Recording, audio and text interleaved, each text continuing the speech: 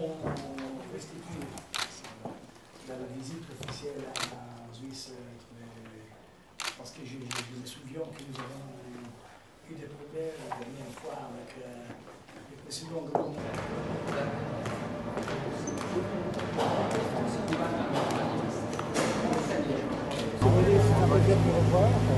Bientôt, oui. Hier,